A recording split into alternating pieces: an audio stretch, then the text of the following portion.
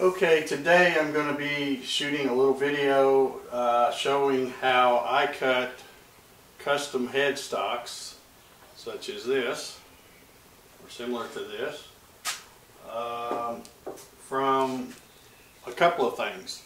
One, this is a uh, pre-fretted uh, neck, comes already with the fretboard glued on, the nice frets already put on there, and a paddle headstock where you can cut your own uh, own headstock. And I bought this from CB Gitty. Uh, I'll put a link to their website down below in the description. So I'm going to be cutting, actually I'm going to be cutting a headstock just like this one uh, from, from this uh, neck here. And then I'll also be showing how I do it with uh, the ones that I make up myself. And you'll notice that this one does not have the fretboard on it. Uh, and I'll show you why here in just a little bit, why I don't put the fretboard on there until after I cut the, uh, the headstock shape. Okay, to cut this on the CNC, one of the critical things to uh, keep in mind is you need to make sure you get this straight, uh, you know, parallel with your uh, gantry of your CNC. So what I've done here is I've uh, used the uh, spindle just to cut a couple of quarter inch holes, not, you know, just down, you know, 3 eighths or something like that. And then I use that to take a couple of old uh, bits and stick down in these holes and then use that as a guide to uh, get make sure that I keep this straight. And then of course once I get it clamped down securely, I remove them so I don't hit them with the uh, with the spindle. Um, I just put four clamps on this. This is the one thing that's a little tricky about using these necks that you buy that are already have the fretboard and the frets on them. Uh, I probably probably can't see it now that I've got it clamped, but because the fretboard and the frets are on there, I have actually under here there's a quarter inch uh, spacer. It's just a quarter inch piece of MDF that's basically cut the same uh, shape as this paddle here and I just stick that under there to get the fretboard off otherwise it would be setting uh, kind of cattywampus there. Uh, when I do the uh, when I make up my own necks and get ready to do them like I showed that one earlier I think you'll notice that I don't have I don't glue the fretboards on until after I've done this step so I don't need to use that quarter inch spacer but for the ones that I buy and this is the last uh, last of the ones I bought several from CB Gitty and used them all up with this one. So um, once I uh, once I get rid of this one and, and use it up, I won't be uh, won't be needing that spacer anymore. Okay, the next thing I want to do uh, after I get this clamped up is I want to find the center of my neck, not the center of the paddle uh, when they glue these uh, extra strips on, because this is just a, about a one and a half inch piece right here down the middle, and then they glue these extra pieces on to form the paddle, they may or may not be the same. So if you measured this and then just divided that in two, you may end up with it slightly off from one side to the other. So what I want to do is I want to find my center line of what my neck is. And I know my neck should be approximately an inch and a half but you want to measure them because sometimes they vary you know a few thousandths here here and there. And this one is about uh, 1.52 so it's about 20 thousandths big. So I'm going to set my calipers to 760 which would be half of that.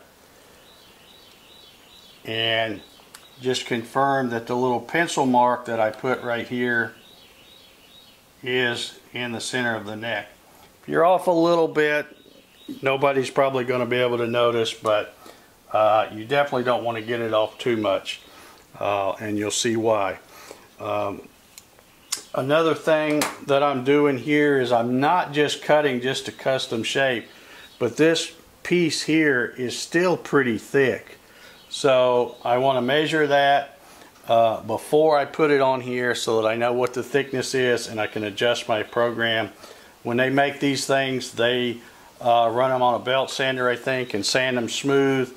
Uh, so they may not be exactly three quarter they may be a little less but you need to know what that is so you know how much uh, to take off here because actually besides just cutting the shape, what I'm going to be doing is milling the back of this to get it down to where the overall thickness of this headstock is uh, 9 16ths or 0.5625 and because if you try to leave it at 3 quarter and put your tuners in there's not going to be enough tuners sticking up to really uh, work effectively and you may not even be able to get it threaded on so I like to run mine about uh, 9 16ths of an inch okay another step I do is I want to make sure that I get my zero set exact, uh, you know, as close to exact as I can. So because that mark in the center of the neck is so critical, I change this tool out and put something with a sharp point so that I can uh, get the zero set a little better.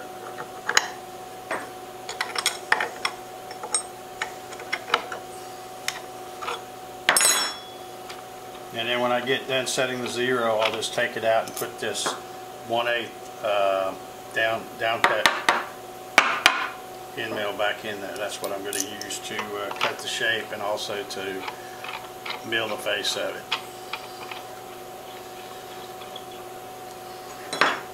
So I don't have to put this in here and tighten it up really good. I'm just snugging it up. And now I can uh, set my zero.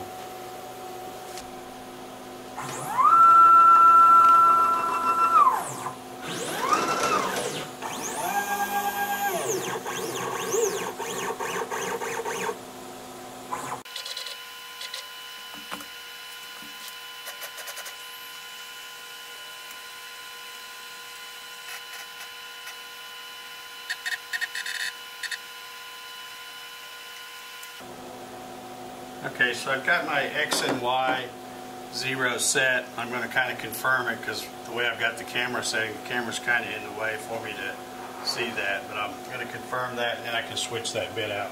Okay, once I have my bit changed back out, I'm going to move it to the center of the blank here and set my zero to the surface of the material. Now when I hit go to zero, it should go down to just on the top of the material and over to that spot that I uh, set the zero for the X and Y uh, with the uh, V-bit in. And it looks pretty good. Okay, so I've got it all ready to go here. I checked my thickness of this piece here and not counting the quarter inch spacer but just the headstock itself measured about 0.7 so I know that if I want to reduce this thickness to uh, 9 16ths or 0.5625, I'm going to need to mill down about 0.1375, so just a little over an eighth of an inch. So I've got the first tool pass set up. I'm just going to run these one at a time um, so I can stop and explain each one after it runs.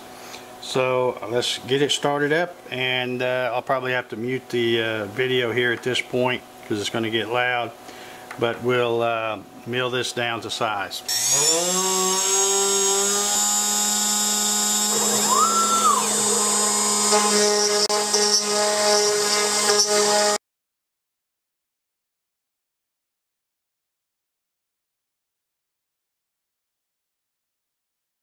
Okay, so now I can take my calipers here and just kind of check and make sure that it milled about 1.375 down so that, that that will leave me when I cut this out uh, that'll leave me with about 9 sixteenths uh, thick headstock there. So that's the first run. The second run also uses this 1 8 inch uh, down cut uh, bit. Uh, and some of you may be watching this and go, well, why isn't he using a bigger bit to clear this out since that's you know such a big pocket? And the reason is, one, I want to have it nice and smooth, so I don't want to worry about having to change bits and maybe not getting the zero set just perfect and then I'd have some you know where you can see the two different bits. And also because it's coming down in here where it's getting really tight so that bit will fit down in there. So I just use that for the whole thing. Alright so now I'm going to load in the other program and what it's going to do is it's going to start at this depth start 1 and 3 uh, 0.1375 deep and it's only going to cut down about a quarter of an inch. I can't really cut it all the way through because you can see I've got the neck kind of sticking up in the air here. So if I tried to part it all out, things might move around and I don't want that. So I leave it nice and solid. The clamps, you can see they're just barely holding on to the corners to hold it down anyway. So uh, I just cut it down a quarter of an inch deep and then I can come back with uh, either a scroll saw or my bandsaw and cut, you know, just cut it out the rest of the way and leave it rough and then put it on my router table with a uh, flush trim router bit and use the quarter inch that I've already cut as my template and get it exact. So let's load up that next program and go ahead and get it going.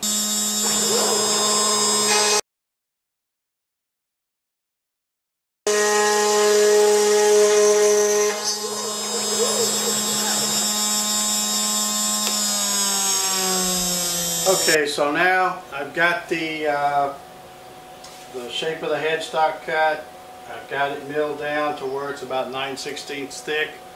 Uh, and now what I need to do is figure out the holes that I'm going to put in here. I have three different programs set up. You'll notice that as a right-handed guitar, this one has one tuner on top and two on the bottom. Sometimes I make them with two on top, one on the bottom. The reason for that is Usually when you buy these tuners and you're buying right and left hand, they come in sets of three. So you get three left and three right or three top, three bottom, however you want to uh, call it. So when you use, when you get a set of uh, six like that and you use one up here and the other two for the bottom and these are different, you know, if you put on tuners before you know that the gear part is supposed to go towards the bridge. So you have a difference of right and left.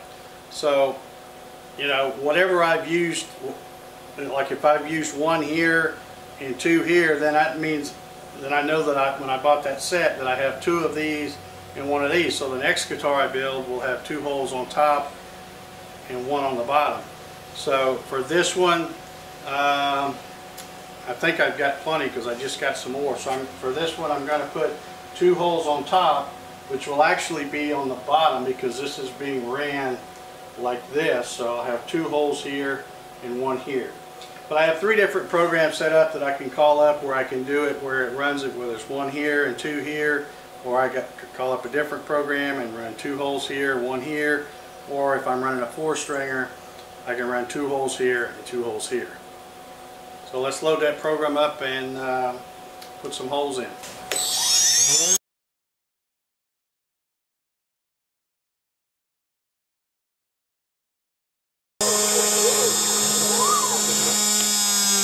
Okay, I'm back around here uh, in back at my shop. Uh, all the CNC work is done. You can see we've got the uh, basic shape uh, cut down most of the way there. We've got the uh, holes for the tuners already in. The only thing left to do uh, with these, and I actually ran four of them. I, I was going to show you how I do one of these without the uh, fretboard on it, but it's really uh, pretty much the same thing. The only difference is I don't use that spacer under here, uh, which makes it a little easier. Uh, and then I'll, once I get the neck cut out, or the headstock cut out, I'll glue the fretboard on those and fret them. Um, but yeah, the only thing left to do is cut this off with the bandsaw. You could use a scroll saw or probably even a jigsaw or a lot of different ways to do it. Like I said, beginning of this video, I'm just showing you how I do it uh, because I was asked to. So anyway, let's get started cutting these off on the uh, bandsaw.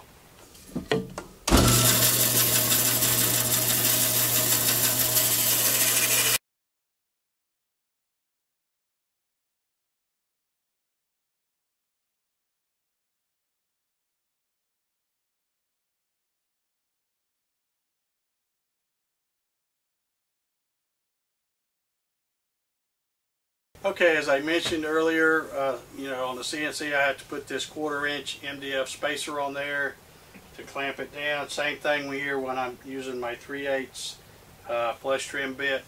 I need to put, uh, and I've used double-sided tape just to put a, a spacer on there so that'll hold that flat and keep it off of that, that edge of the fretboard there. So when I get done with this one, I'll have to uh, lower this back down for the other three because since there's no fretboard on there, I can do this one just like this. It's much easier. All right, let's get started flushing these up.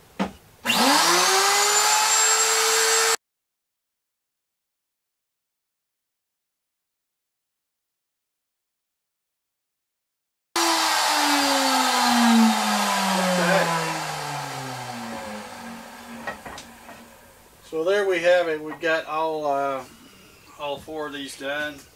So there we have it. We've got our head shape, uh, headstock all shaped with a nice fancy uh, shape there.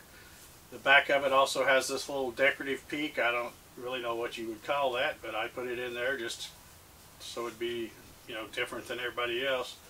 Uh, and then I've already got my hole set up where uh, all I have to do is come finish drilling those through and then making them to the right size, which they should be pretty close. Uh, sometimes you have to open them up a little depending on the, the type of tuners you have.